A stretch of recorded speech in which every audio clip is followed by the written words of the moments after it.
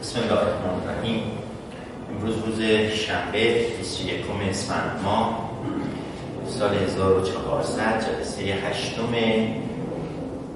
درس مکانیک سیالات هست در خدمت عزیزان هستیم. بس اول این مجموعه رو پشت سر گذاشتیم با یه سری تعاریفی که تجلی و تبلور این تعاریف تو جدول پروپرتیز آف واتر خلاصه می‌شد و همینطور از منظر دیگر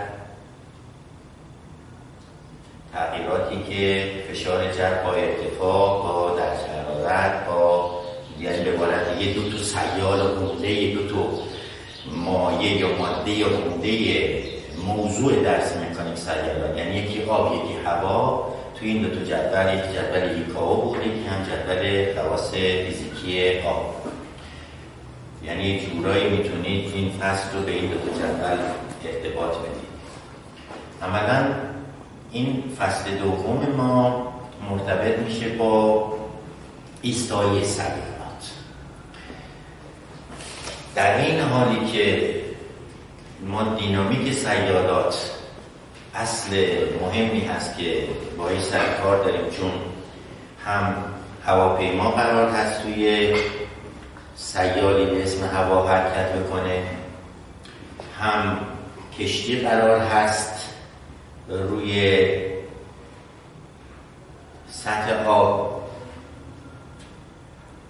تغییراتی داشته باشه حرکت کنه. هم شناورهای زیر دریایی حالا هر به هر انگیزه انگیزه های انسانی یا انگیزه های غیر انسانی جنگی فعل و پیرو زاده باز قرار هست تو سیالی به اسم آب حرکت داشته باشن. جریان آب در داخل رودخانه سیلاب رسوب آلودگی غیر زاده که حالا نمونه این سیلاب هم شما توی سنتون مشاهده کردید شیرازیات همین سیلاب سال 98 پنجم و ششم فروردین 1398 و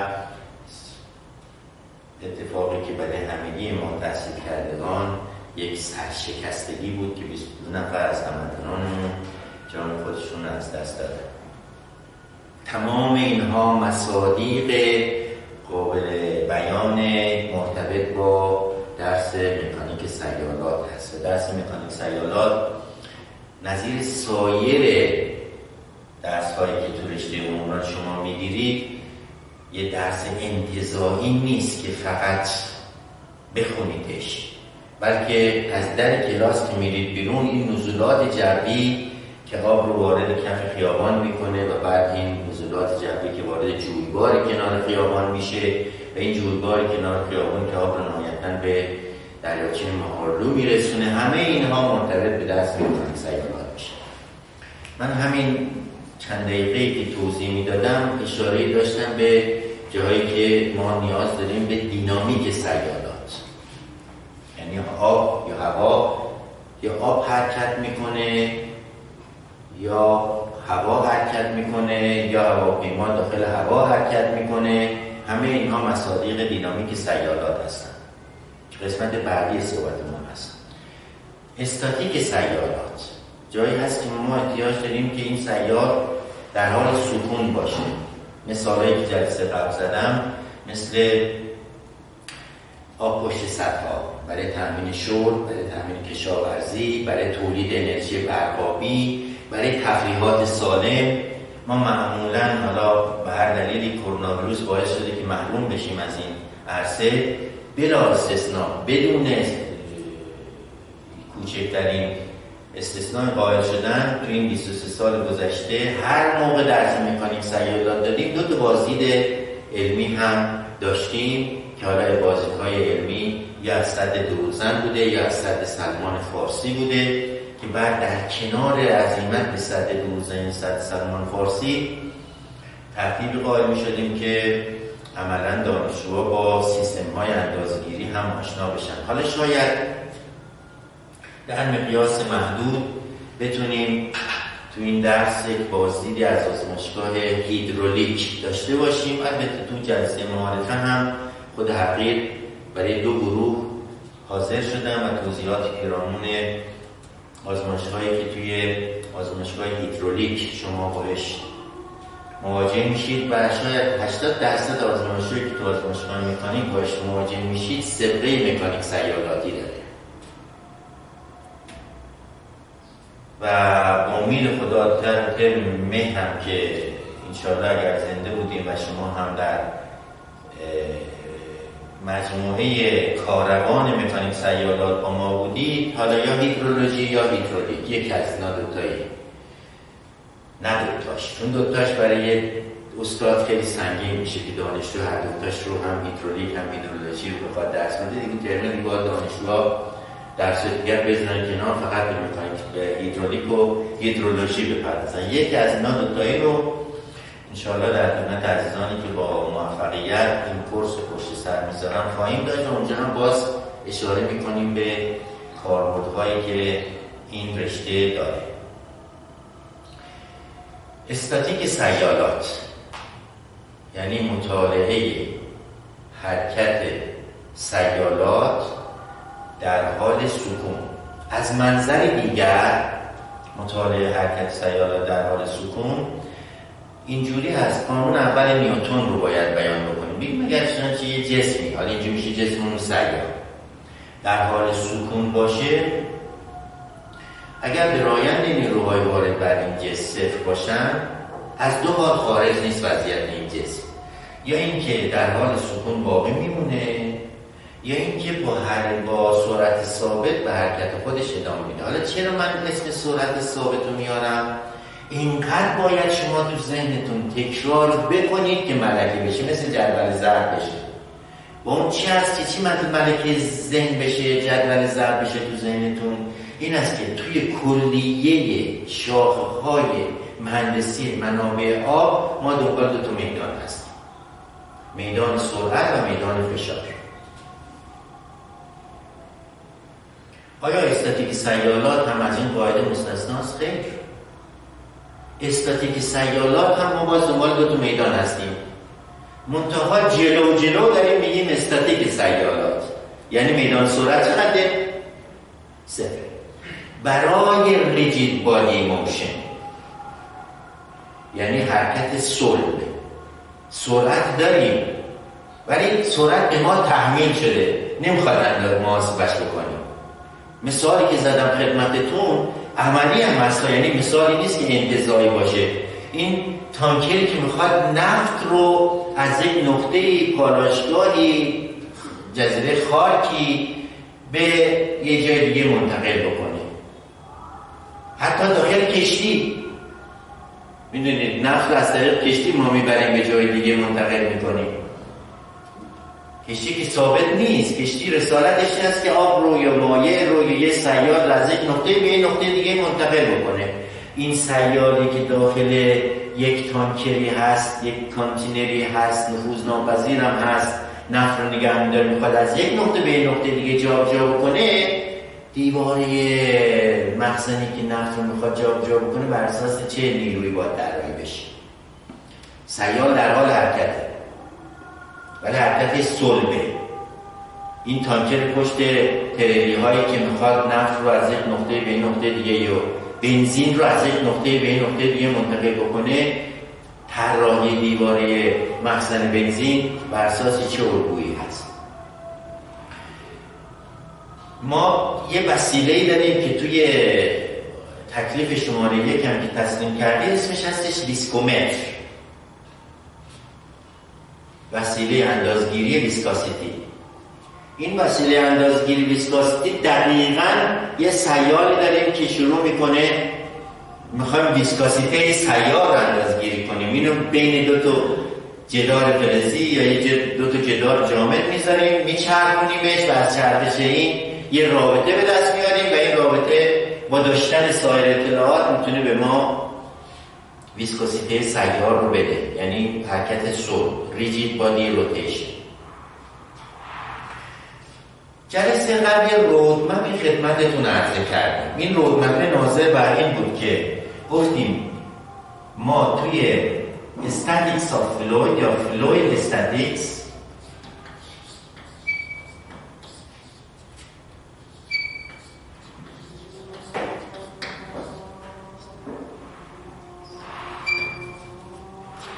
جلو جلو میدان سرعتمون از دو بار خارج نیست. میدان سرعتمون اگر اینجا بذاریمش ولاسیتی فیلد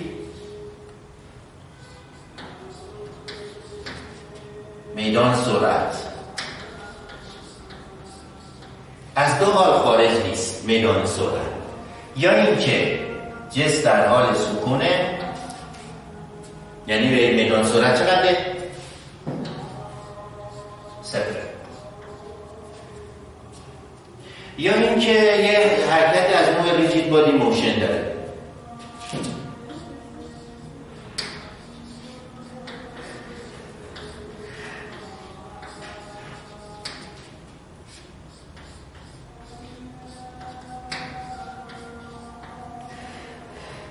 حالا rigid body motion می‌تونه سه تا گزینه براش مترتب باشه. اینا مباحثی هست که خواندید یا می‌تونه از نوع translation باشه؟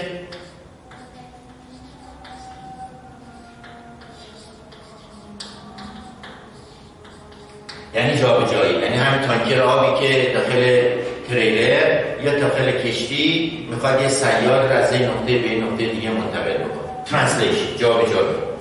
یا از جنس rotation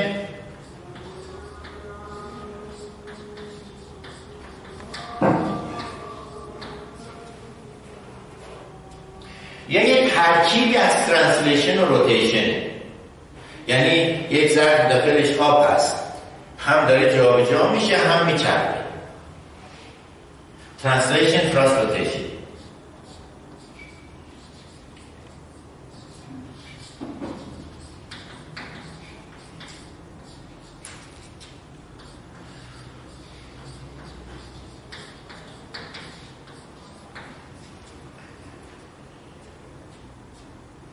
خب میدان فشار که بحثش جدا هست. پرشر من جلسه قبل عمدتا صحبتم پرشر فیل بود که گفتم این پرشر فیل اگر چنانچه به پی نشونش بدیم این پی یه تابعی هست از مکان یه تابعی هست از زمان و یه تابعی هست از ماهیت تصادفی.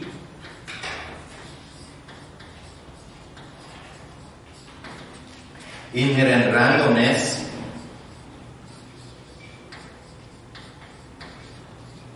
و یه تابعی هم هست از جهت.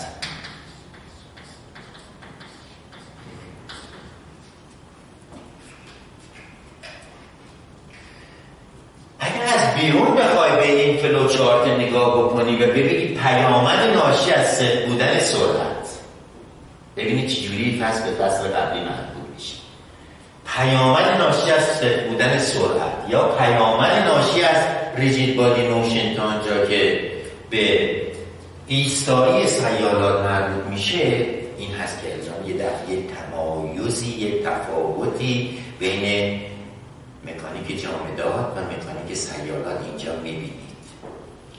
با صدای بلند یا تو گوشتون یا هر جایی رسیدید زمزمه کنید این مطلب رو که در سیالات عامل تولید برش گرادیان سرعت. ما اینجا چون اصلا سرعت نداریم برش صفره. اینجا هم چون به اصطلاح rigid body motion داریم. ذرات نسبت به هم سرعت ندارن. باز چی؟ برش خیلی کار راحت میده لطفا دقت بفرمایید که این بدین معنا نیست که ویسکاسیتی صفره. برای اثر که ویسکاسیتی صفر نیست. برای یه غیر که ویسکاسیتی صفر نیست. ولی موقعی که شما یه مقدار غیر توی تانکر دارید مقدار یه اثر توی ظرف دارید این ظرف این اثری که داخل ظرف ساکنه. یعنی میو وجود داره. ولی چون گرادیان سرعت ندارید بارش تولید نمیشه. آقای آبدینی میشه کمی ریاضی بارش بکنی؟ صحبت متنی رو؟ چرا نه؟ خیلی راحت. تاو مساوی با میو دی یو به دی بار همونطور که ملاحظه می‌کنید دو عامل تولید برش می‌کنن. این یکی لزجته این یکی گرادیانه تنش می‌تواند صفر باشد. خواهش کنم دقت بکنید. برای گزینه ای که گرادیان داشته باشیم گرادیان صورت داشته باشیم ولی میومون صفر باشه. تنش برشی صفر. می توانیم خواهش کنم دقت بفرمایید. می توانیم سیالمون میو داشته باشه ولی گرادیان سرعت صفر باشه مثل این گزینه که اینجا داریم. هم برای rigid body motion هم برای موقعی که سیال در حال سکون هست گرادیان سرعت نداریم. یعنی ذرات نسبت به هم حرکت نمی کنن صفر میشه.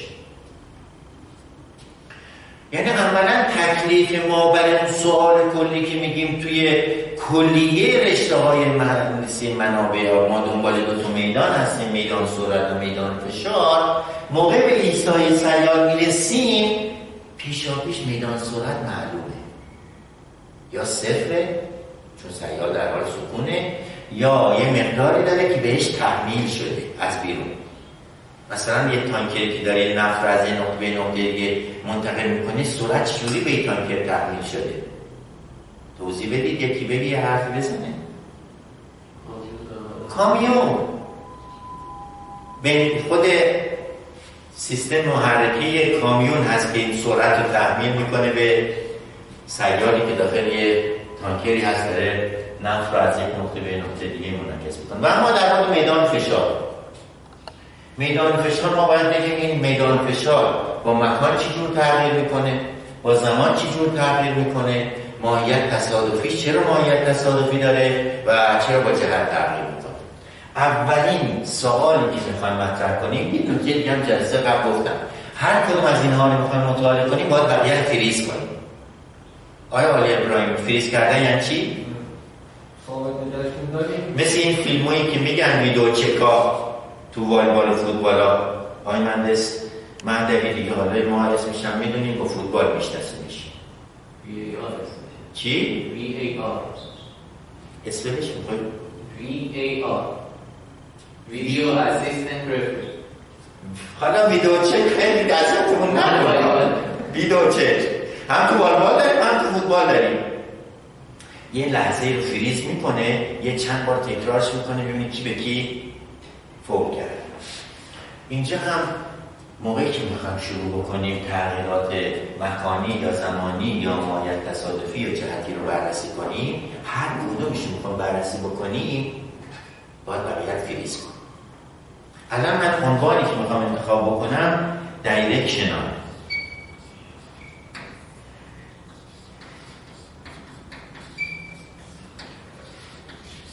variability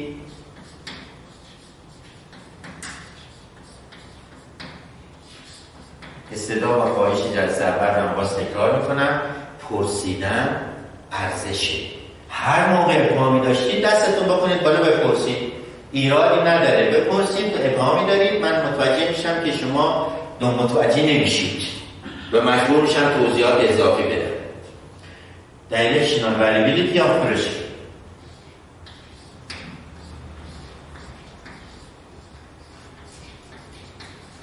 مفهوم این عنوانی که رو تابلو نوشتن این هست که اگر چنانچه یک پرش به میدان جریانی داشته باشه میدان به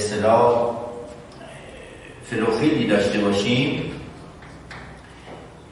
سوالی که در تو ذهنمون شکل گرفته می‌خوام بهش پاسخ بدیم اینه اگر من یک نقطه داخل این flow field در نظر بگیرم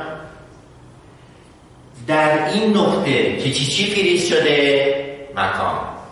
چی چی فریز شده؟ زمان. چی چی فریز شده؟ ماهیت تصادفی. فقط یه چیز داره تغییر می‌کنه و اون جهته.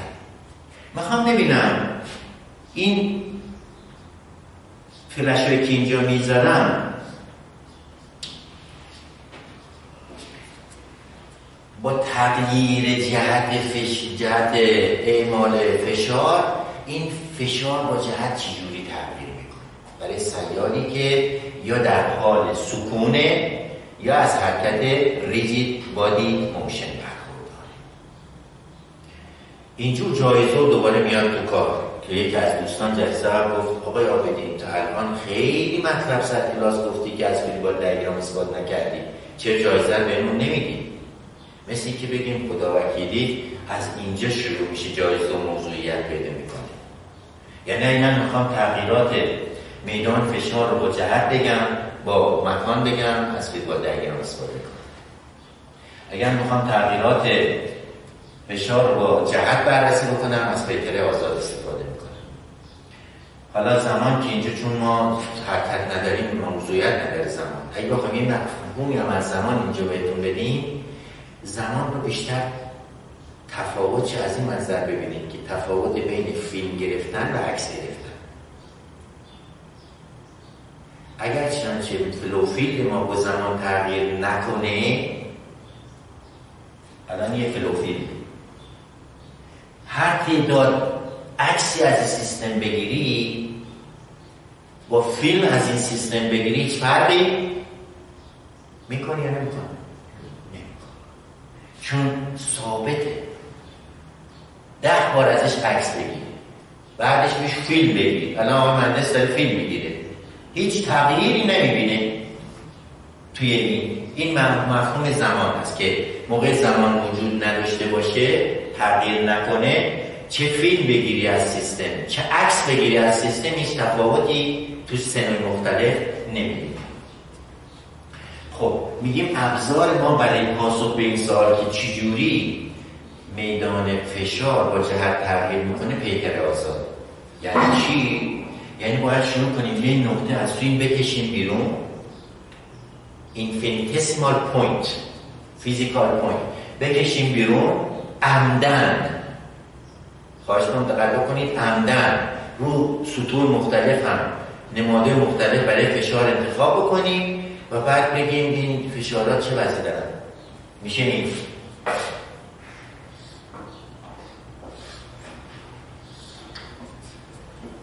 این دلتا x یا dx این dy این هم ds و این نقطه فیزیکی هست که من آوردمش از توی این flow field بیرون. این خیلی کوچیکه این نزدیک صفره. این خیلی کوچیکه نزدیک صفره. این خیلی کوچیکه نزدیک صفره. منتها عمدن چون نمی‌دونم. که تغییرات فشار شوریه روی این باید البته دارم دیگه مثل اینکه دارم میگم برای این جسم می‌خوام فکر آزاد یه نیرو باید اینجا بذارم. به خاطر چی؟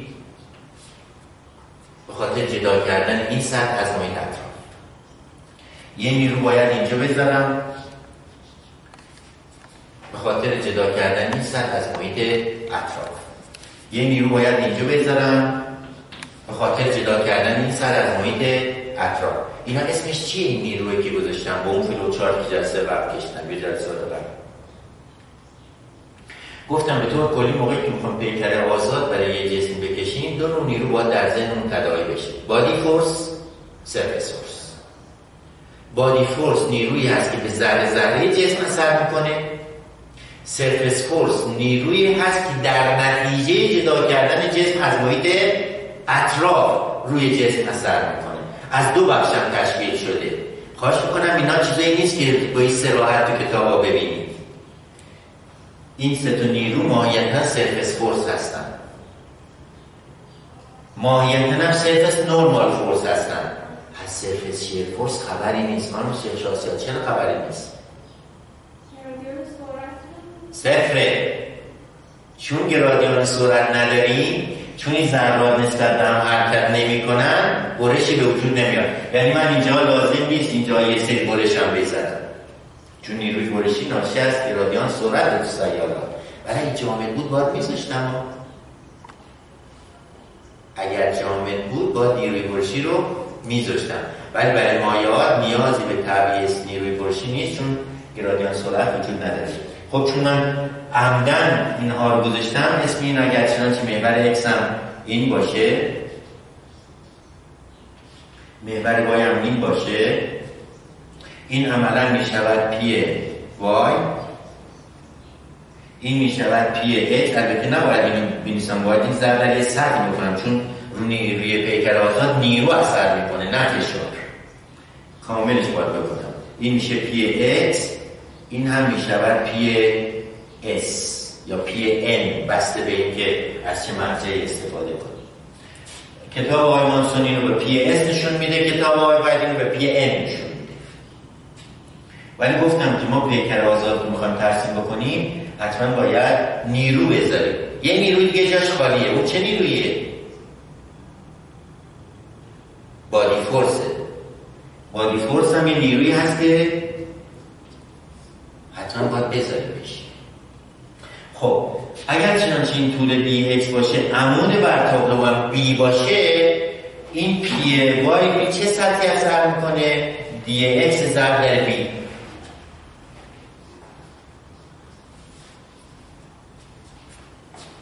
این میشه نیرویی که روی این سطح اثر می‌کنه. این میشه dy ضرب در b. این یکی می شود ds ضرب در b. b عمود بر تابلو. این نیروی قرمزی که بادی فورس هست اگر چه فلش بزنم بیرون بخوام بگم مقدارش چقدره باید بیام گمار ضرب در حجم این منشور کنم. حجم این منشور میشه مساحت ضرب در قاعده ها؟ یعنی در واقع اینجوری میشه میشه یک دوم dx dy b یه حجمه. یک دوم dx dy می شود مساحت ضرب در b میشه حجم. یه حجم باید ضرب در گاما بشه تا بشه چی؟ بس. گاما چی؟ گاما سعی بادی فورس سرفس نورمال فورس از سرفس شیر فورس هم به خاطر عدم وجود گرادیان سرعت خبری نیست. خب ما می‌خوایم سوال رو یه بار دیگه پیش خودمون تکرار بکنیم. می‌خوایم ببینیم این P s با P y با P x چه رابطه‌ای داره. آگاهانه هم می‌دونیم که این خیلی ریز نقطه است. یعنی dx و dy ds almost zero هستن. خیلی خوب. میان میگیم این جسم باید در حال تعادل باشه. تعادل استاتیکی هم باید داشته باشه. یعنی مجموع نیروها در جهت محور x باید صفر باشه. مجموع نیروها در راستای محور y باید صفر باشه. و چون حرکت هم نمی کنه عملا دیگه نمی‌خواد تعادل دورانش هم اعمال بکنه چون موقعی حرکت داشته باشیم یه بحث یا حداقل جسممون جالب این نکات یه نکات ظریفی هست که خیلی وقتا دانشجویان می‌پرسن میگن چه موقع باید از مجموعه لنگر نسبت به هر نقطه استفاده کنیم چه موقع استفاده نکنیم. کسی می‌تونه بگیم چرا اینجا لازم نیست؟ این رابطه من بنویسن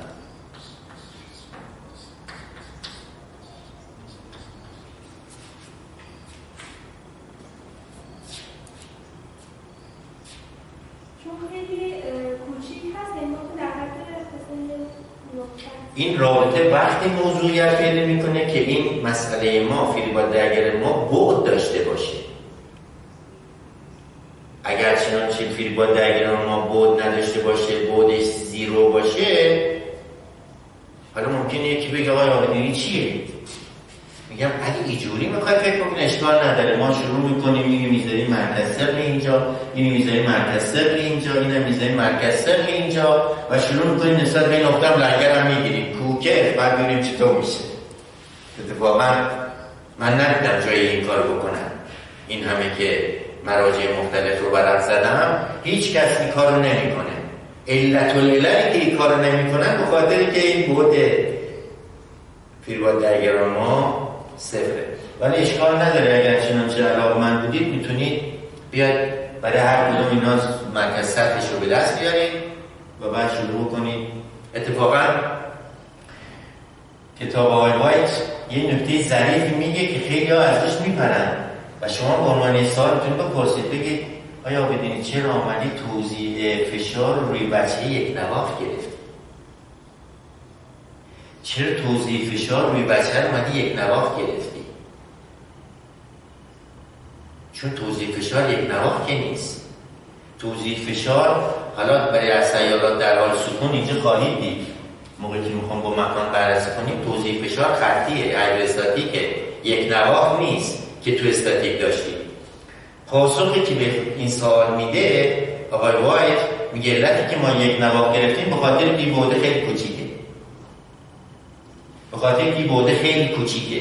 ما توضیح سرعت مش فشار یک نواف گرفتیم. ولی اگر این طول قابل توجه باشه دیگه من نمی‌تونم توضیح فشار رو یک نواف بگیرم. خیلی خوب. مجموع نیروها در جد می‌بره ایکس مساوی با ما یاد گرفتیم. داریم استاتیک رو تکرار می‌کنیم. اگر چنانچه خواستیم شروع کنیم این مسئله رو از نظر استاتیکی تا رو بررسی کنیم اولین کار قبل از به خدمت گرفتن این روابط این از کلیه نیروها رو در جهت محور اشتباه چکار کنیم؟ تصویر کنیم. این نیرو خودش هست. این نیرو هم هست. ولی این نیرو نیست. باید چکار کنیم شروع کنیم یه زاویه تعریف کنیم. مثلا این زاویه که با این زاویه برابره. بعد بگیم می‌تونیم تجزیهش کنیم.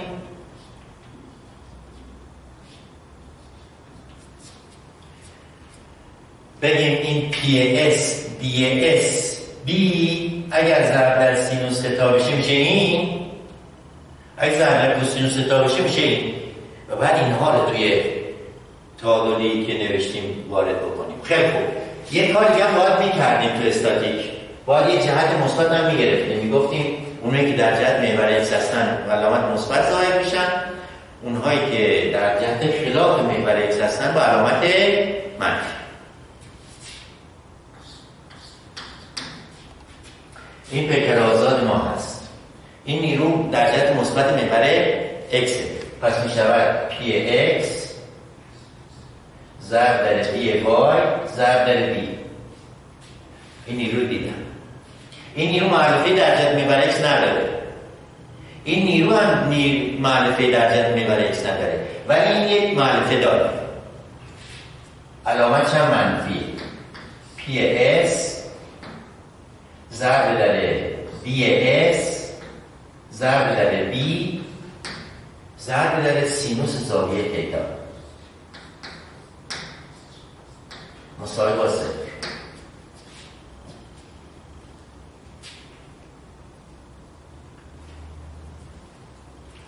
می‌تونیم بریم یک کمی سادش کنیم این رو. بچه ها بی تو هر چطوره؟ مشترکه می‌تونیم طرفین به یه بیچ کار کنیم تقسیم کنیم. یواشکی. حالا چه یواشکی هم خدمتتون میگم. بین ds و dx و dy هم یه رابطه برقراره. بچه ds مساوی چیه؟ برای این مسئله که تابلو می‌بینیم اس هستش. ds در کوسینوس زاویه تتا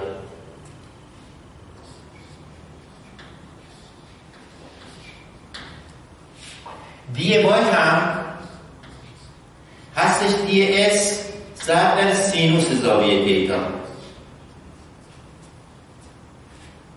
بریم استفاده کنیم از این رابطه مثلثاتی پس b که رفتش. این می شود P x ضرب در dy مساوی با. P s b رفت. حالا این ds ضرب در سینوس تتا چه بزن چی؟ dy. dy هم با dy زده میشه. از اینجا P x مساوی با P s میشه. یعنی عملا این نیروی فشاری که روی این بچه اثر می‌کنه با فشاری که روی بچه اثر می‌کنه یکی. از این رابطه استفاده کنیم ببینیم تکلیف P y چی میشه. یه جهت مثبت باید انتخاب بکنید این جهت مثبت. این نیرو در راستای محور y هست می شود P y. در ای اکس در دی اون دو تا نیروی دیگه یعنی نیروی وزن و نیروی مولفه قائم P s ds b فلان. میشه منهای P s ds b کوسینوس زاویه تتا. منهای این نیروی که اینجا داریم. یک دوم dx دی وای بی در گاما مساوی با ما در راستای محور x دو تا نیرو داریم در راستای محور y سه تا نیرو داریم و تعادلش نمیشتیم خب. اولا هم این هم این هم این بی داره می‌تونیم بعد دفعه به بی چکار کنیم؟ هست این قدم اول. بعد به جای ds کوسینوس تیتا می‌تونیم بزنیم دی اکس خب اگر به جای این ds کوسینوس تیتا گذاشتیم x می‌بینیم هم این b داره هم این هم این هم این dx داره هم این dx داره هم این dx داره. می‌تونیم طرفین رو بدون b dx تقسیم کنیم. میشه مساوی با py مساوی اینجا ما اگر چنانچه تقسیم کنیم میشه پی اکس دیگه دی اکس کوسینوس تار به دی اکس جایگزین کردیم. به اضافه اینم از دی اکس بی که تقسیم بند کنیم میشه یک دوم دی وای در گاما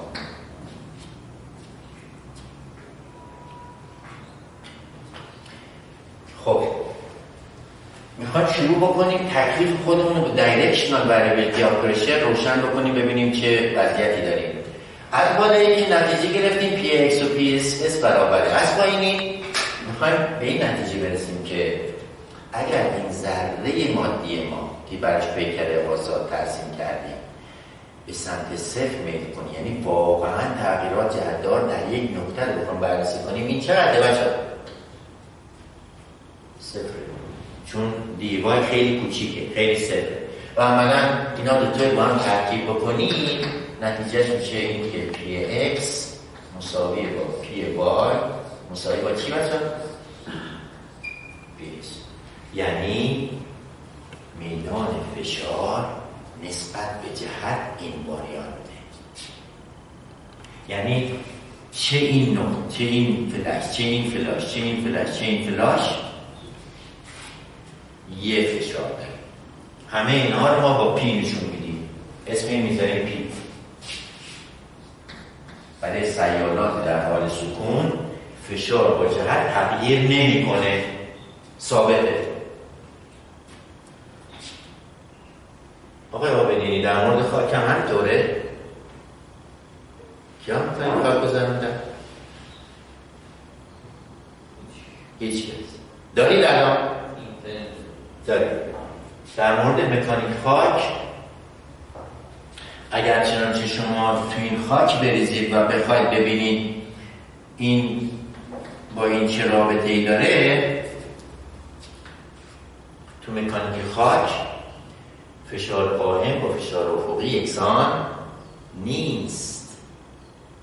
بسته به این که شما active pressure یا passive pressure داشته باشید یک coefficient of active pressure یا coefficient of passive pressure رو حتما باید توی تبدیل افقی به قائم یا قائم به افقی لحاظ کنید سوال ابهام از تکلیف این روشن شد فشار با جهت تغییر نمی‌کنه برای چه سیاری؟ سیار در حال سکون آیا بدین این صحبت که اینجا کردی برای این هم صادقه؟ پاسخ یا فقط برای صادقه؟ آقای مهدوی. برای هر دوتاش صادقه. چون پیکر آزاد چه اینجا باشه چه اینجا باشه هیچ فرقی نمی‌کنه. نیروی بارشی روش دیده نمیشه. ممکنه یکی بگه خب خب اینجا اگه باشی باید بنویسی ام ضرب در ای کسی می‌تونه بگی چه من بشه ام ضرب در ای اینجا باشی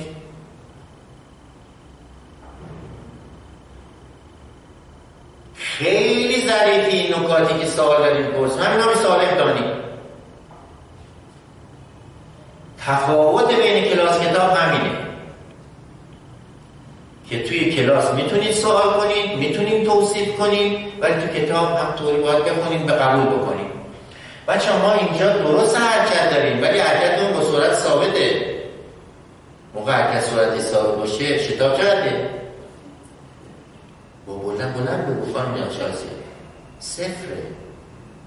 ام ای صفره. پس ناله اونجا هم باز سمیشن فورس صفر میشه. بخاطر که سرعت نه با زمان نه با مکان تغییر.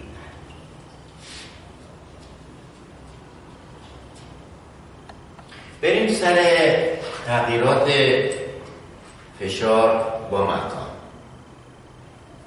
باز من عنوان رو می variation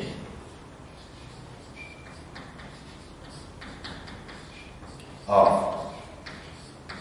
pressure.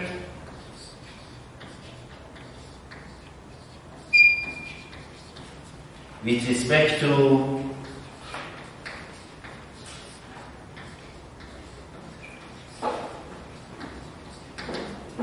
space.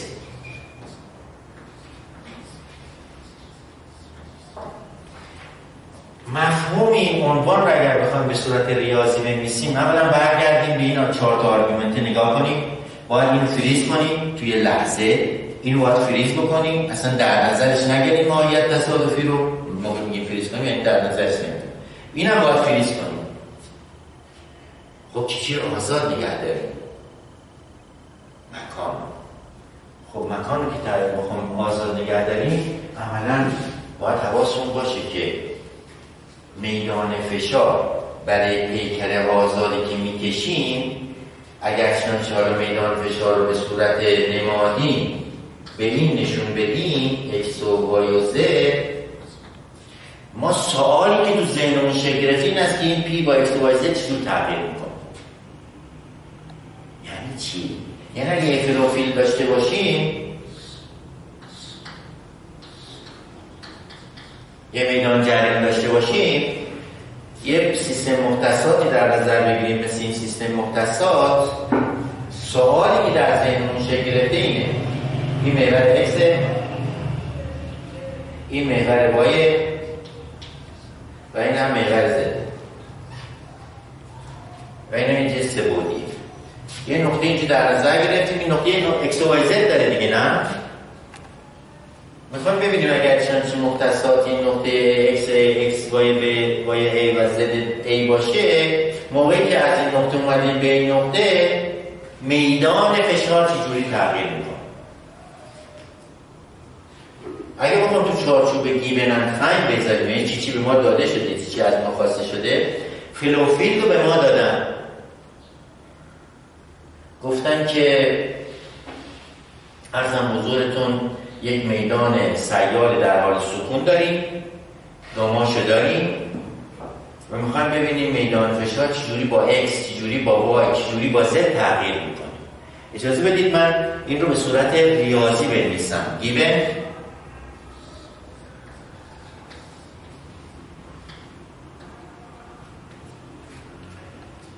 فلوفیل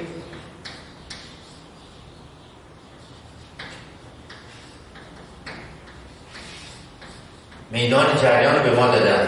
منتها استیشنری فلوفیل یه میدان جریان در حال سکون هست. چی چی از ما خواستن؟ حالا این میدان جریان که به ما میدن حتما باید گاماش هم بدن دیگه. یعنی ویژگی های محیط رو هم به ما بدن. آیا نیاز هست اینجا بگیم ویسکاستن رو به ما دادن؟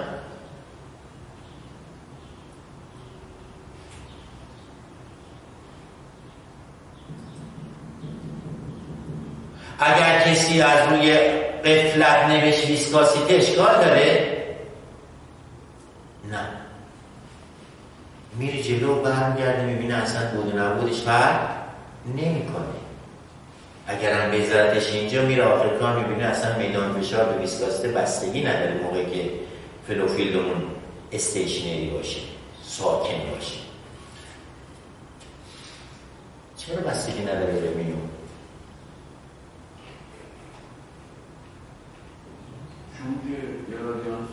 نداریم. چون گرادیان سرعت نداریم فیلبا دیاگراممون نیروی بارشی ظاهر نمیشه که متوسط به میون بشیم. فاین. سه تا چیز از ما خواستن. مشتق p نسبت به x. مشتق p نسبت به y. و مشتق p. آقای مهندس سجادی این نماده نماده نماینده چیه؟ این سه جانوره که من اینجا گذاشتم.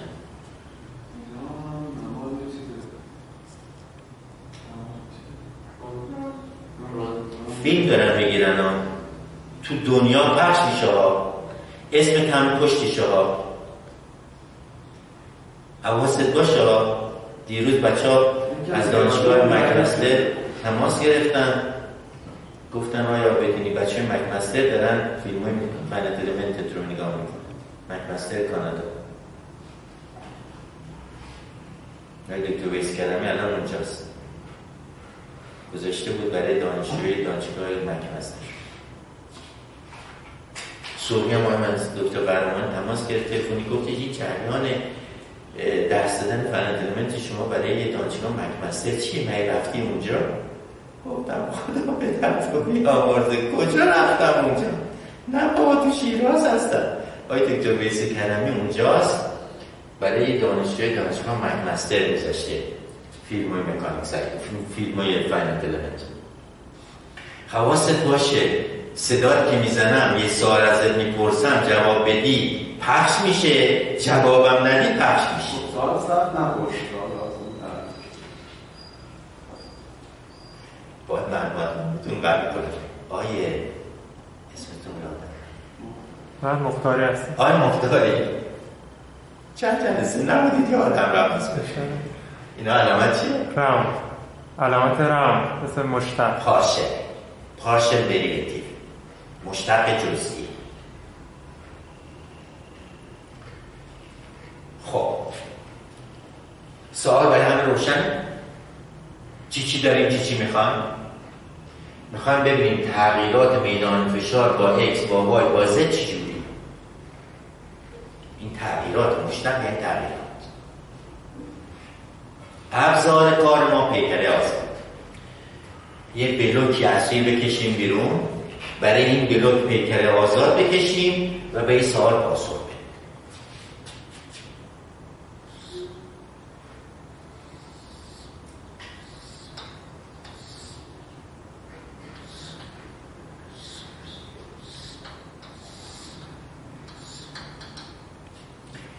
یه مکعب مستطیل این دیه اکس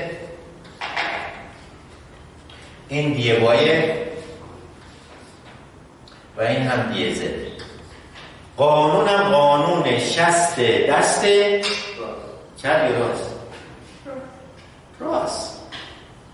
خب اگر چنانچه من روی این گذاشتم محور X روی این هم گذاشتم محور وای قانون شست دست راست می‌زنه بیرون یعنی این میشه زد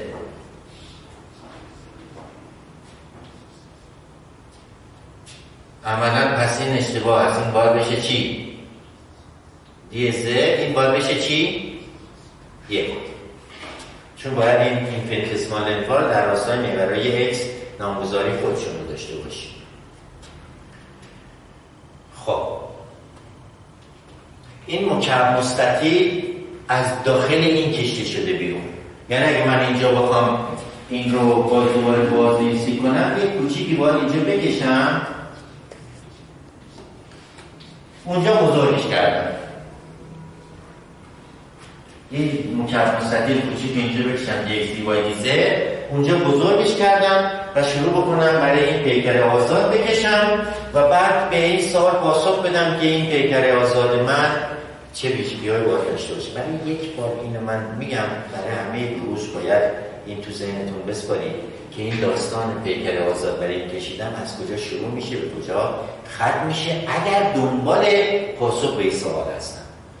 آقای مهندس سجادی میگه آقای رابطی چه کار که اینجا کرده اونجا نکرد نامش سوالی هست. به جا از پرسیدنش و حتما باید برای جواب قانع کننده داشته باشی ممکن آقای سجادی بگم اصلا نمی‌دونم سوال چی که دنبال جوابش باشه سوال اینه آیا بودیم اینجا چرا پیکر آزاد رو که با دی اکس و دی وای دی زد هست میدان فشار اینجوری می‌ذاری؟ اینجا که می‌خوای میدان فشار رو بذاری اینجوری می‌ذاری. چرا تفاوت بین این دوتا رو می‌بینید نباید اینجا اونجا هم مثل اینجا عمل کنیم بذارین من کامل بکنم بعد برم بگم چرا اونجا اون کار نکردم. چند تا بچه داریم؟ مکرب مستطیل شیش شیش تا؟ یک دو سه چهار پنج شیش. پیکر آزاد ما باید چه نیروهایی روش بذاریم؟ بادی فورس سرفس فورس بادی فورسمون میشه حجم این مکعب مستطیل یعنی وای دی زد ضرب در گاما. سرفس فورسمون باید این وجود سرور کنیم. دو نوع نیرو بزنیم. نورمال سرفس فورس و نورمال شیر فورس نورمال شیر فورس داره صفره چرا صفره چون گرادیان سرعت. نداره. فقط نیروهای سرفس نورمال فورس داریم خب. خواهش می‌کنم دقت بفرمایید ببینید ما این نیروهای سرفس نورمال فورس رو چجوری می‌ذاریم روی این پیکر آزاد. ای کاش این مقاومت مصالح شما گذرانده بودید که اگر چنانچه اینجا شروع می‌کنیم از positive section negative section صحبت می‌کنیم البته تو استاتیک هم یه اشاره شده بهش What do we mean by positive section? منظور از یک مقطع مثبت چیه؟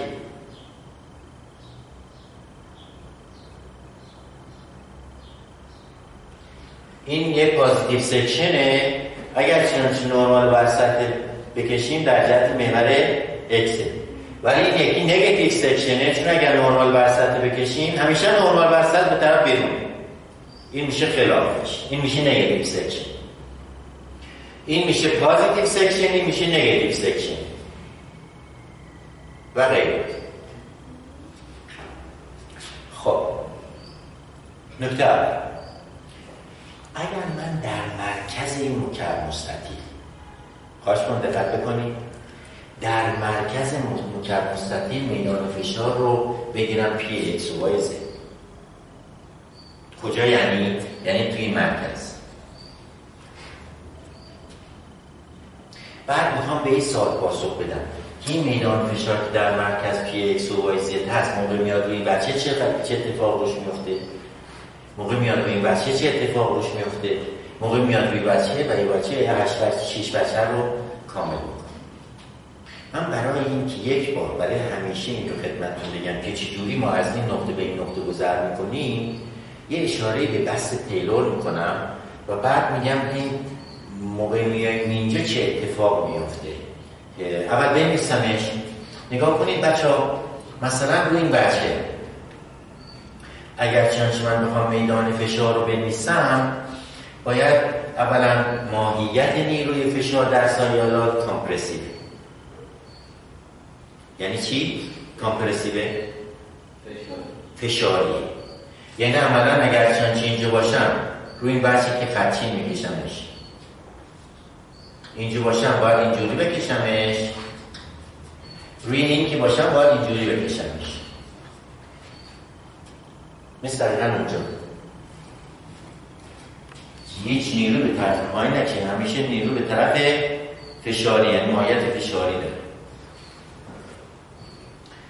اگر چنانچه روی این بچه باشم باید اینجوری بکشم. اگر روی این بچه زیریه باشم باید اینجوری بکشم. حالا سوال این است که این نیرویی که من اینجا گذاشتم مقدارش چقدره؟ اولا نیرو رو رو پیکر آزاد می‌ذارن نه فشار. میگیم این پی تنها argument ش که تغییر کرده argument اولشه. به اضافه دی اکس دوم. چرا دی اکس دوم؟ چون این وسط بود به اندازه دی اکس دوم اومده این بر. با او دوتای دیگه عوض نشده. روی این بچه. البته این باید در چی ضرب شده بشه نیرو؟ در این سطح. دی وای در دی زد روی این بچه. باید بگیم هستش پی اکس منهای دی اکس دوم در دی وای در دی زد این باید ضرب در چی کنیم بچه ها؟ دی وای دی زد آیا روی این دو تا بچه که الان من نیروها رو گذاشتم نیروی دیگری هم باید در نظر بگیریم؟ وجود داره نیروی دیگری که در نظر بگیریم؟ نه. اگر می‌خواستیم در نظر بگیریم نیروی برشی بود که تو سیالات در حال سکون نیروی برشی به وجود نمیاد. روی این بچه چی بگیم؟ باید بگیم پی اکس وای به اضافه دی وای دوم و دی زد این باید در چه سطحی ضرب بشه؟ ضرب دی ضرب این دی اکس این هم هستش دی تو بشه نیرو روی این بچه پایینی. این میشه پی از فانکشن اکس و وای منهای دی وای دوم. و دی زد باز هم ضرب در دی اکس ضرب داره دی زد من رو چهار تا بچه نیروها رو گذاشتم. رو دو تا بچه دیگه هم باید بذارم. این بچه روبرویی و روی بچه پشتیه. و بچه روبروییه؟ اگر چنانچه از استاتیک یا دینامیک نمی‌دونم مرجعتون چی چی بوده آقای مختاری به همون میگه که اگر بره تو چجوری نشونش میدیم اگر بیاد بیرون چجوری نشونش میدیم دو گزینه داشتیم. یکی اینجوری بود. یکی هم اینجوری بوده یادم باشه. زبدر زبدر برای این بچه اگر من بخوام نشون بدم نیرویی که روی این بچه اثر می‌کنه باید کدومش بزنم اینو بزنم یا این سمت راستی. اینو باید بزنم بله. داره میره تو همه موافقم روی این بخشی که اینجا هست A B C D. اولا ماهیتش که فشاری یعنی باید بره تو. داخل ضربه در پس بنابراین اینجا اگه من یه علامت بزنم اینجوری جوری میشه. برای بچه پشتی چی میشه؟ نقطه میشه. چون داره در جهت محور زد میشه. حالا یکی رو بکشم پشتی دیگه خیلی سکسا شروع میشه.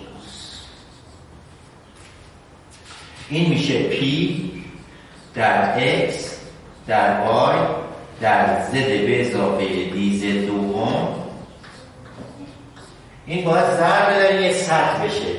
سطح همیشه دی X ضرب در دی Y. برای اون پشتیه فقط این علامت زد به اضافه دی زد دوم میشه زد منهای دی زد دوم. چون جهت مثبت محور زد به طرف بیرونه از مرکز که به سمت دو بچه پشتی بریم به اندازه دی زد دوم ازش کم میشه. خب. این مطلب رو معمولا مراجع به خاطر که شما درس ریاضی یک و ریاضیات دو رو گرفتید با جزئیات نمیگن. ولی یک بار برای همه عمرتون بدونید که اصلش اینه. بعد با بست تیلور. لطفا دقت بکنید یه لحظه. با بست تیلور هر کدوم از اینها رو کل اکس و باز می‌کنیم. من یه یادآوری از بست تیلور در فضای انبودی کنم.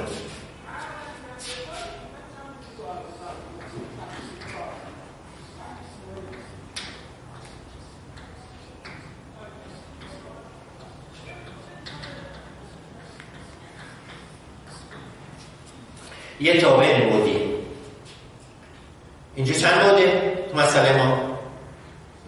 بود x و y z خالی داره. این x نقش x رو بازی می‌کنه x رو نقش y بازی می‌کنه x هم نقش z رو بازی می‌کنه. حالا کلمش این بودی که دیگه به مرگ بزنیم که به تب چطور بشه؟ طرف راضی بشه می‌خوام این رو حول نقطه A باز کنیم.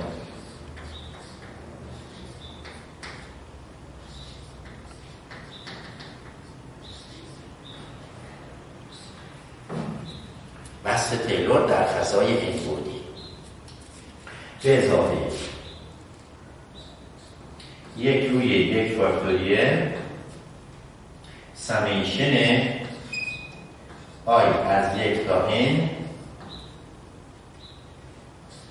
X آی منهای a آی در مشتق f نسبت به x آی محاسب شده در x مساوی با a این میشه جمله اول یا دوم بسط تی جمله بعدی میشه یک روی دو فاکتوریه. سمیشن آی از یک تا n. سمیشن j از یک تا n. X آی منهای a آی بچه با هم صحبت نکنیم از سوال دارید بپرسید.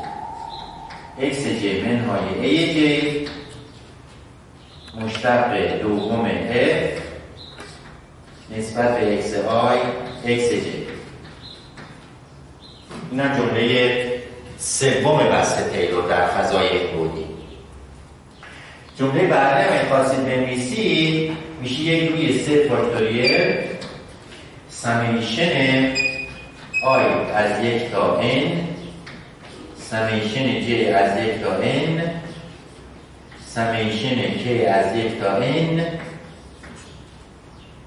X آی منهای a آی x j. منهای a j.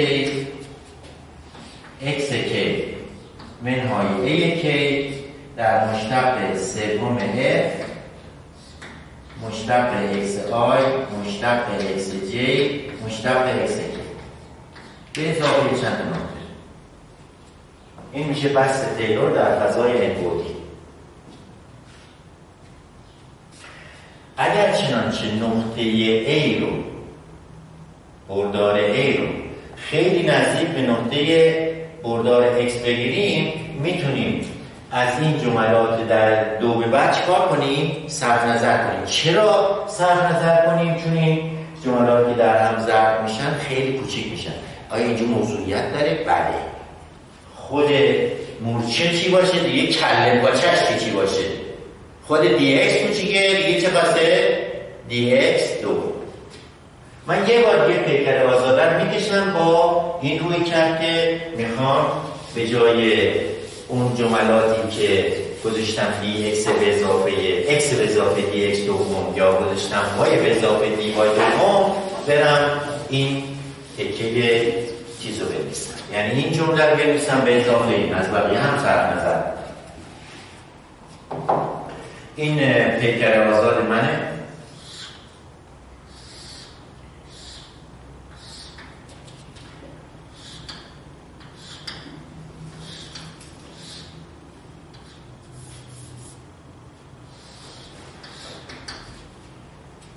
مثلا این بچه می‌خوام نیرو رو بزنم. یادتون باشه که این دی اکسه این دی زده این هم دی وای خب لطفا نگاه کنید یه لحظه اینجا. این نیرو رو. پی اکس به اضافه دی اکس و این پی نقش اف داره بازی می‌کنه. مثل تابع هست اکس به دی اکس دوم وای دی زد دی وای دی زد هم که بیرونه. من باید بیام. این تابع سبودی فلان رو حول اکس و زد چیکار کنم؟ باز کنم. پس بنابراین اینجا میشه پی از function of اکس و وای و زد این این جمله مثل اینه. به اضافه. خب. علی‌الاصول من باید سه جمله بنویسم چون این آی از یک تا سه میده. ولی از این سه تا جمله فقط یکیش وجود داره او دوتای دیگه سه چرا وجود نداره اون دوتای دیگه؟ چون اکسا به هم فرق می‌کنن. وای زدا عین هم هستن. اونجا وای و مرکز مکعب مستطیل هم وای پس بنابراین می‌شود دی اکس دوم این اکس دوم در واقع بوده اکس به اضافه اکس دوم منهای اکس که اکس و اکس زده شده شده اکس دوم. مشتق پی نسبت به اکس محاسبه شده در x مساوی با x y مساوی با z مساوی با z. این باید ببندیمش ضرب داره دی y دی z. این می شود بست تیلور که آمدیم همه چی رو بر حسب چرا کار کردیم ما دنبال این هستیم. ما دنبال این اکس هستیم. بنابراین اومدیم بر حسب بیان اینجا به یه رنگ دیگر اگر چنانچه بنویسمش اول یک مقداری این هم که به این بس میشه. بعد اینجا هم باید اینجوری بنویسیم. و بعد بخوام این رو به صورت بست تیلور بنویسیم باید بنویسیم. P از of x over z.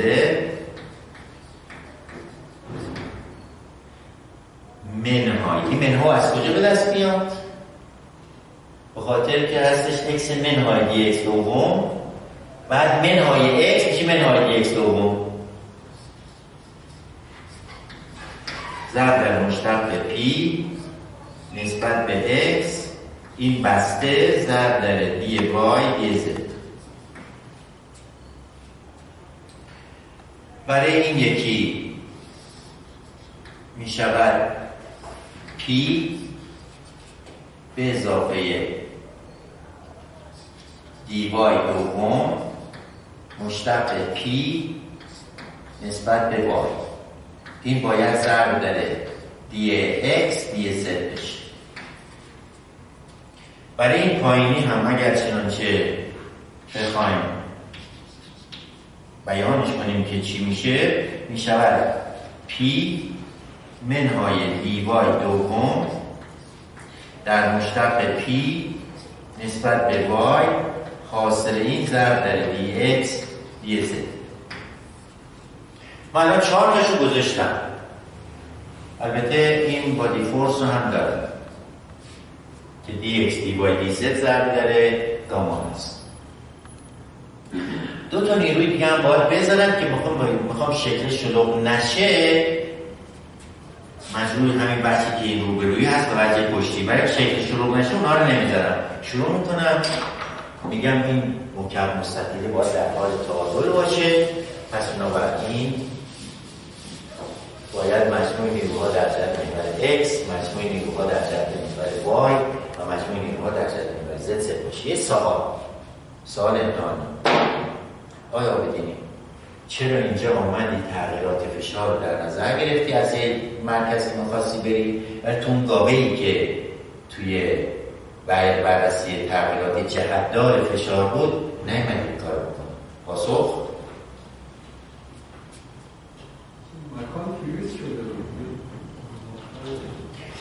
دقیقا. اونجا چون مکان فریز شده بود مسئله تغییرات مطرح نبود. فقط تغییر با جهت مطرح بود. اینجا مکان فریز نشده. اینجا مکان آزاده. جهت فریز شده. به خاطر همین هم هست ما دیگه نیمدیم اینجا پی ایکس و پی وای ویزه. از قبلی چی؟ از قبلی نتیجه گرفتیم؟ که پی ها همش یکی. با جهت. منتها با مکان بخوام ببینیم تغییرات چی مجموع نیروها در جهت محور x مجموع نیروها در جهت محور y و مجموع نیروها در جهت محور z. چرا این سه رابطه رو می‌تونیم بنویسیم؟ به خاطر اینکه جسم در حال تعادله حرکت نداره. شناسایی کنیم نیروهایی که در جهت محور x هستن. فقط این نیرو این نیرو نیرو دیگری در جهت محور X نداریم. بقیه نیروها در جهت سایر محور هستن. این مثبت این یکی منفیه. پس میشه مساوی.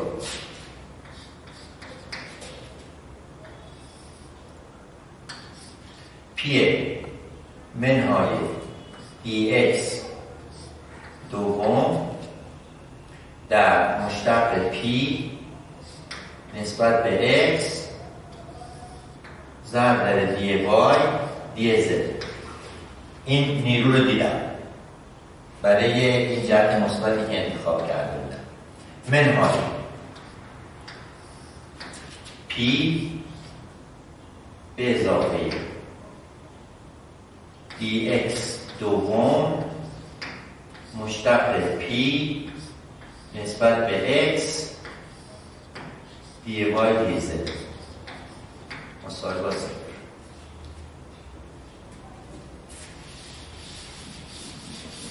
من این بار این کار کردم که بیام. اول فشار به اون صورت بنویسم. بعد بیام میدان فشار رو با استفاده از بست تیلور باز کنم اینجوری بنویسم. ولی از این به بعد دیگه اون کارا رو انجام نمیدم. مستقیما این انجام میدم. فرض می‌کنم. که یک بار گر مطلب رو شفاف بگیم دیگه نیازی به تکرارش نیست. خیلی خوب. سوال یه بار دیگه تو ذهنمون تکرار کنیم. Given فهم یه جا نوشته بودش. اونجا نوشته میشه. این پی ضرب دی وای دی اکس با این پی ضرب دی وای دی اکس دو میشه؟ cancel out میشه. این منهای دی اکس دوم پارشل یک ضرب در این با این منهای دی اکس جمع میشه. حاصلش می‌شود. منهای مشتق پی نسبت به x دی x دی وای دی z. مساوی صفر. اگر طرفین رو به دی x دی z تقسیم بکنیم منهای دی x دی دی z تقسیم بکنیم یکی از جواب x مخواستیم به دست کنیم یکی از خواسته هامون به دست میاد. خواسته که به دست میاد این است که مشتق p نسبت به x چطوره؟ صفر از منظر ریاضی یعنی چی؟ این قید مشتق p نسبت به صفر یعنی در تعریف p x به کار نرفته که مشتق جزئی صفره یعنی عملا مقدار p در جهت مقدار x یعنی عملا اگر بخوام به صورت ریاضی بنویسم مفهوم این مشتق پی نسبت به صفر یعنی عملا پی تابع فعلا فقط از وای زد اکس توش به کار این مفهوم ریاضی این جمله است. خیلی خوب. مجموع نیروها در جهت زد رو هم صفر کنیم ببینیم تکلیف اون چی هست. زد محوری هست که این هست. بچه روبروی میشه به علامت مثبت وجه پشتیه که این باشه به علامت البته اون مثبت این منفی می شود پی منهای دی زد دوم مشتق پی نسبت به ز دی اکس دی وای. این کدوم نیروهای مسئله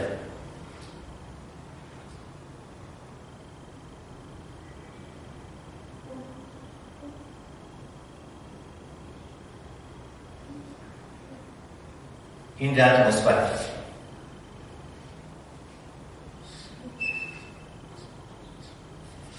این جهت مثبت میورزه.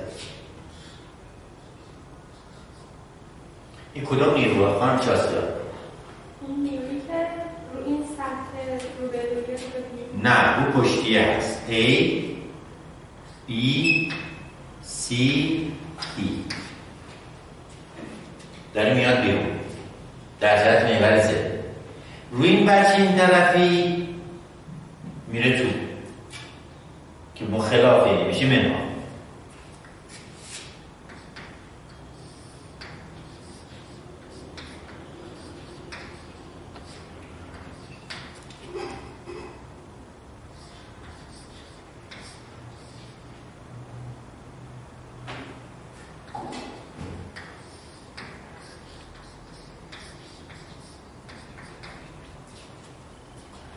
خب دوباره اگر ساده کنید پی دی وای دی ایکس با ایکس زده میشه cancel out میشه. حالا من قبل از که جلو برم الان منفی برای چیه؟ آیا من سوال کار ابراهیم.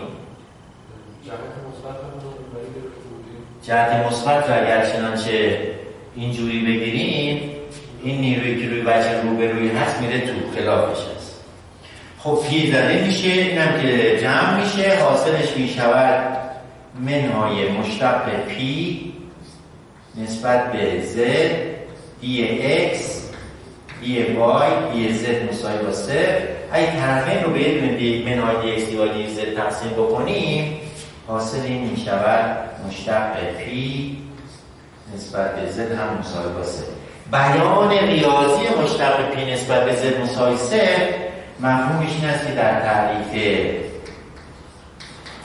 پی زدم کار نه ما میمانیم و وای. برای که تکلیف تغییرات پی با وای رو هم تعیین بکنیم باید بریم مجموع نیروها در ضرب محور وای رو صفر کنیم. محاسبه یعنی عملا برای محور x و محور z دو تا نیرو داشتیم ولی برای نیروی در ضرب محور وای سه تا نیرو داریم. این سه تا نیرو شامل این این و نیروی وزن میشن. یه علامت مثبت در نظر بگیریم برای این این علامت مثبت باشه. به یه رنگ دیگری هم بنویسیم که بین این دوتا شاخص بشه. چون جهت مثبت این گرفتیم این میشه مثبت. پی منهای دی وای دوم. مشتق پی نسبت به وای. ضرب اکس دی زد این نیروی الان کشیدم نوشتمش اینه. این به طرف پایین میشه منها پی به اضافه دی وای دوم مشتق پی نسبت به وای دی اکس دی زد این هم نیروی دوم.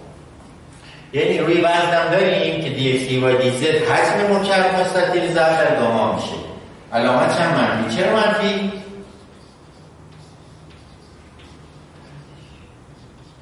علامت مختاری جهتش به سمت پایین.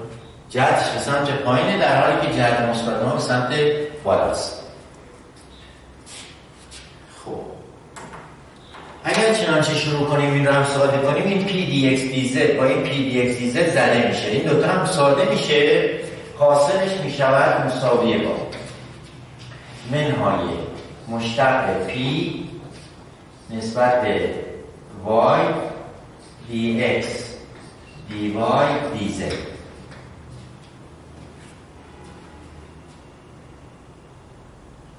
حاصل جمع این دو جمله میشه منهای یا منهای گاما دی اکس دی وای دی زد مساوی صفر اگر چنانچه معلوم مشهور کنیم بخوام به این سوال پاسخ بدیم که این چقدره با طرفین رو به dx dy تقسیم بکنیم یا dy dz تقسیم کنیم و نهایتا بریم مشتق P رو نسبت به x به دست. میشه مشتق P نسبت به y. مساوی با منهای گاما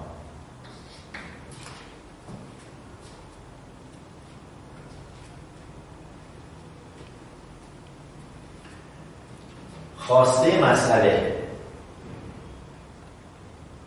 این بود که بریم تغییرات فشار رو موقعی که فشار نقطه از یک نقطه به نقطه دیگه تغییر می‌کنه به دست داریم این یکی به ما گفتش تو تعریف P x به کار رفته. این یکی به ما گفتش تو تغییر اصطلاح تعریف P z کار رفته و این یکی هم آمده میگه تغییرات P نسبت به اینجوریه. برای سیالی که در حال سکون باشه یعنی حرکت نداره آیا می‌تونیم این سه رابطه رو با هم ترکیب بکنیم تبدیلش کنیم به یه رابطه؟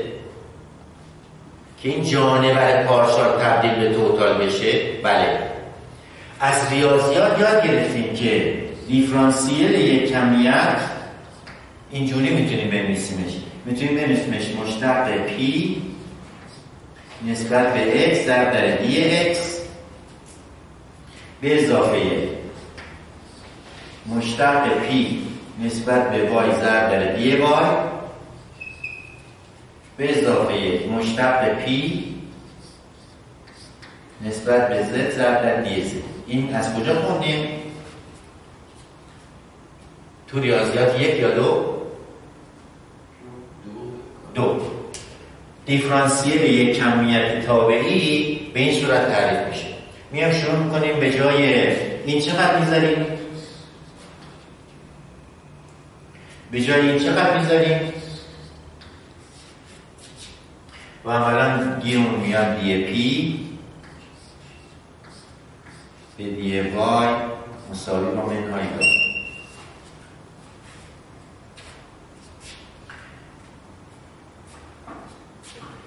یه معادله دیفرانسیله درسته؟ معادله دیفرانسیل از نوع ODE یا PDE ه ODE ه ordinary differential equation.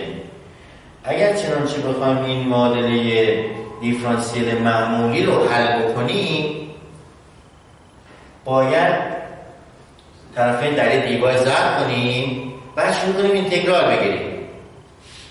اگر چنانچه این کار رو بکنیم دی پی میشه مساوی. منهای گاما دی وای بعد شروع کنیم از طرفین اگر چنانچه اینتگرال بگیریم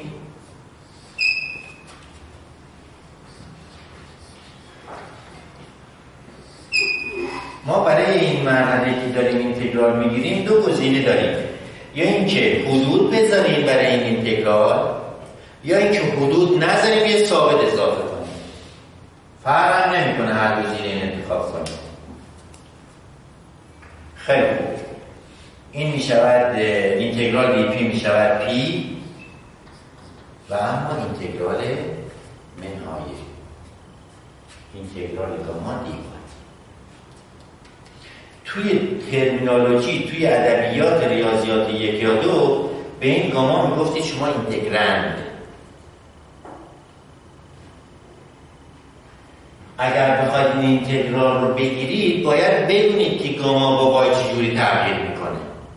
چشمتون نمی‌تونید ببندید بگید این اینتگرال میشه گاما وای وقتی این اینتگرال تبدیل به گاما وای میشه که گاما با مکان تغییر نکنه. آقای آبدینی می‌تونی یه سیاری رو مثال بزنی که گاما با مکان تغییر نمی‌کنه؟ ما موقعی که داشتیم نقل تراکم پذیری صحبت می‌کردیم یکی از معیارهایی که آمدیم سیال آب یا مایع رو سیال گاز به هوا مقایسه کردیم مسئله تراکم پذیری کامپرسیبیلیتی بود. یه جور گوشه دفترچه خاطراتتون بنویسید که اگر چنانچه سیال ما تراکم ناپذیر باشه گاما با مکان تغییر نمی‌کنه. اگر چنانچه سیال ما تراکم ناپذیر باشه گاما با مکان تغییر نمی‌کنه.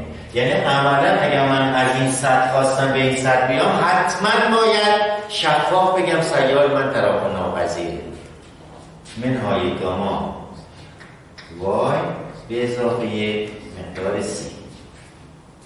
برگردم به این شکلی که پاکش کردم ببینم چه اتفاقی افتاد. این فلوفیل من بود و دنبال تغییرات میدان فشار. از یک نقطه به نقطه دیگه بودم این محور X بود. این محور Y بود. این هم محور Z. موقعی که میگه مشتق فشار نسبت به X صفره یعنی اگر چنانچه من از یک نقطه در راستای محور X کلیه نقاط y شون ثابته x شون داره تغییر می‌کنه. بعد میگه مشتق حتی z شون هم می‌تونه چون تو این صفحه اگر چنانچه باشه تو صفحه x و باشه z شون هم صفره داریم این رابطه که ما به دست آوردیم میگه این نقاطی که همشون x اشون فرق می‌کنه ولی y z شون ثابته فشار در اینجا در اینجا در اینجا در اینجا ثابته که مشتق صفر شده. در این راستا چی, می‌تونیم بگیم در راستای زد چی می‌تونیم بگیم در راستای زد هم که زد فقط تغییر می‌کنه اکسا صفر یا وایا هم ثابته فشار روی این خط هم ثابت. پس روی یه صفحه افقی. مثلا اگر تو این سیار باشه خالی باشه سیار باشه تو سطح سیار باشه هر سطح افقی در نظر بگیرید فشار ثابته. فشار تو سطح افقی تغییر نمی‌کنه. ولی از این سطح به این فشار تغییر می‌کنه. چون وای عوض میشه. چجوری؟ به این صورت که ملاحظه می‌کنه. بچه سطح آزاد مایه پی چقدره؟ پی آتمسفره. یعنی اگر چنانچه من اینجا بخوام مقدار ثابت سی رو به دست بیارم این است که بگم at liquid your fluid surface البته اینجا باید بگیم لیکوید سرفس چه نباید بگیم فلوید سرفس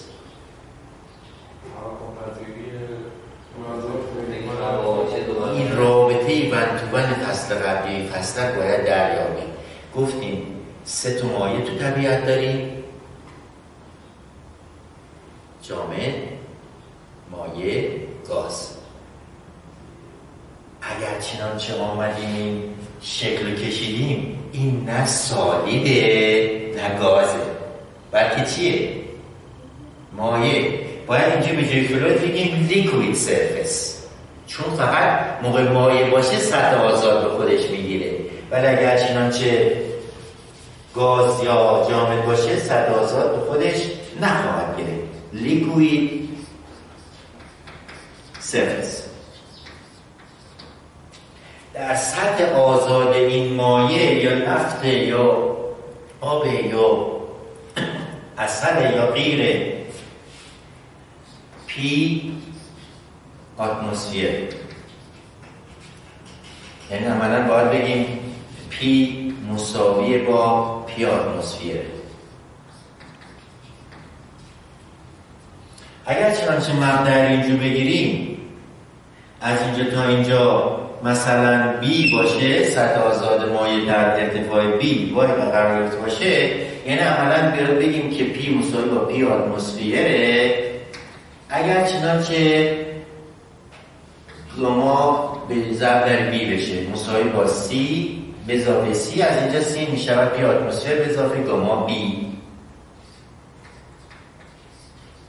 پی آتمسفیر به اضافه گاما بهشون به جای C مقدار بذاریم P as function y میشه مساوی منهای گاما y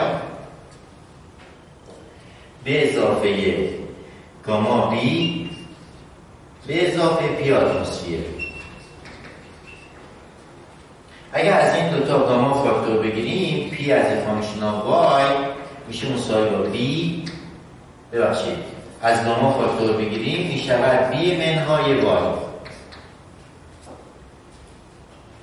به اضافه پی آتمسفیر بچه رو شکل بگید پی بی منهای وای چیه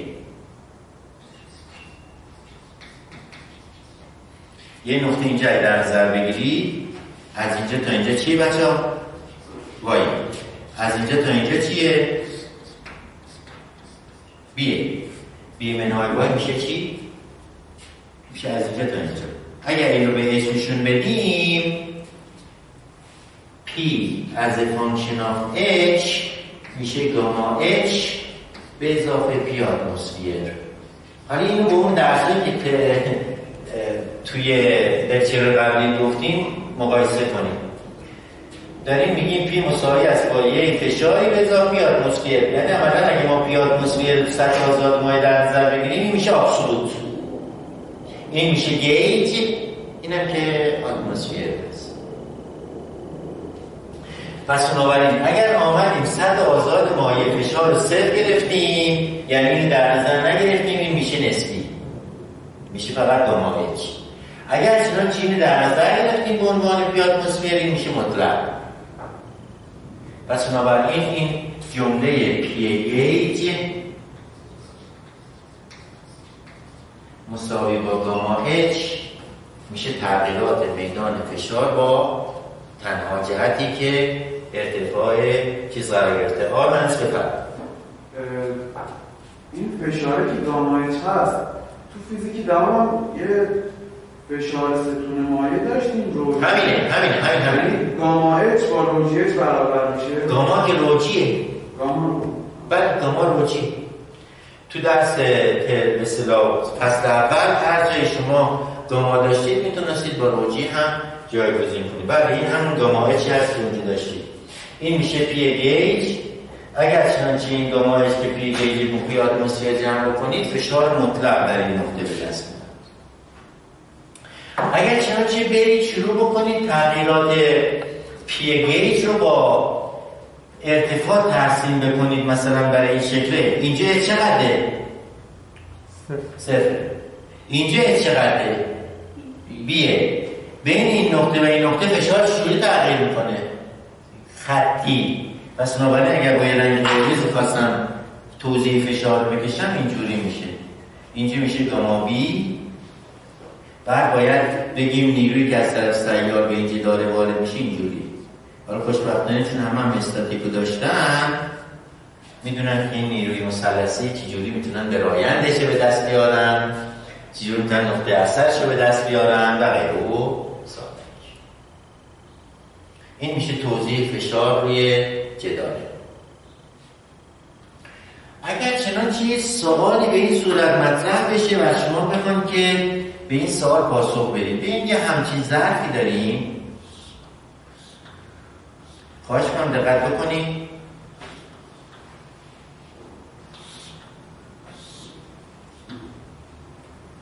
تا اینجا آب تو ظرفه. این خیلی باریکه.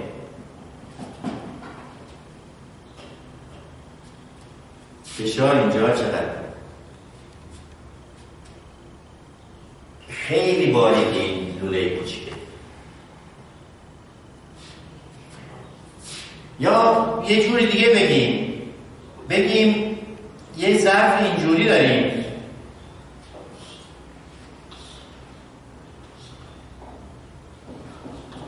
یه ظرف اینجوری داریم؟ با یه ظرف اینجوری داریم. که این دوتا یک هستن. این دوتا یک هستن. حالا چون جا ندارم تو این می‌خوره یکی رو قایم می‌کشم. از اینجا تا اینجا این مساحت کپ و مساحت یکی. سطح آب هم توی دوتا یک هستن. نیرویی که به کف ضرب وارد میشه توی دوتا شکل برابر هستن. خب یکی ممکنه بگه یکی خیلی آب کمتری توشه یکی آب بیشتری توشه چه فشار که وارد میشه؟ توجیه چیه؟ فشار تو مایا به ارتفاع یه جور دیگه هم می‌تونید توجیه کنید. که چرا توی این دو تا شکل نیرویی که از طرف سیار به ته ضرب وارد میشه یکسانه؟ استاد توی سمت چپی نیروها جوری وارد میشن که برایندشون به سمت پایین میشه. اما توی سمت راستی برایندشون به سمت بالا میشه پس از اون نیروی کم می‌کنه. به عبارت دیگه یک سوال اینجوری بپرسیم بگیم اگر چنانچه بهتون بگم برید برای این پیکره آزاد ترسیم بکنید. بعدا برید برای این پیکره آزاد ترسیم بکنید. پیکر آزاد این دو جسم چه تفاوتی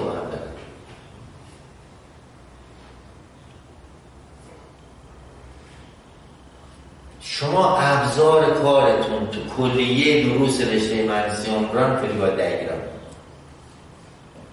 اگر از فریباد دیاگرام غافل نشین همه جا موفق هستید. نگاه کنید میگیم ما یاد گرفتیم توی مهندسی را ساختمان پیکر آزاد از دو نوع نیرو تشکیل شده. بادی فورس سرفس فورس خیلی شروع کنیم روی این یکی بادی فورس رو بذاریم. body force اون میشه حجم آبی که داخلش ضرب گاماش اینجا هم میشه body force اون حجم به گاما ضرب حجم که داخلش چون پیکر آزاد رو ظرف رو جدا کردیم داریم اثر ظرف رو روی پیکر آزاد می‌کشیم. اینجا هم میگیم یه نیروی اینجا هست یه نیروی همون F هم اینجا هست که باید ضرب داره یعنی P ضرب در h مقدار این هستش پی ضرب در اچ اینجا هم هستش پی ضرب در و اما این دوتا شما اگه خواستید روی این پیکر آزاد بکشید میگید نیرویی که از طرف جداره به این وارد میشه اینجوریه.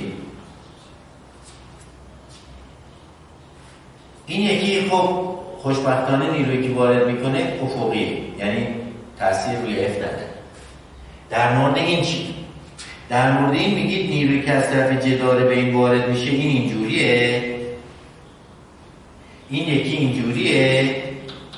این دوتا نیرو اگر چنانچه با یه رنگ دیگری معلفه هاشونو بکشم این میشه اینجوری این هم میشه اینجوری بعد این میشه اینجوری این میشه اینجوری.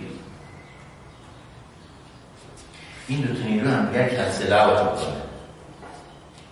و بعد تنها دو نیرویی که با هم جمع میشن این دو تا نیرو با این وضع جمع میشه میده اینجا اگر چنانچه شما برید پیکر آزاد بکشید این حجم آب زیادی که می‌بینید توی این دمیلیون نفته شده یه بخشیش توسط این نیروی خونسا یه بخش از این نیم توسط این میشه و عملا بازم باعث میشه که F همطور که من سجاده اشاره کرد کلا فشاری که تو سیالات در حال سکون به جدار وارد میشه فقط به ستون آب بستگی داره به حجم آب بستگی نداره ستون آب هست که تعیین می‌کنه که سوزنک فشار و بعد این سوزنک فشار از در در سطح میشه میشه نیرو فکر می‌کنم. جانم. تمام دیگه ما کار نمی‌کنیم. ساعت دوازده شروع کردیم. یک و فکر می‌کنم چلو پنج دقیقه هم تمام کردیم. ممنون سپاس گذار دستتون در.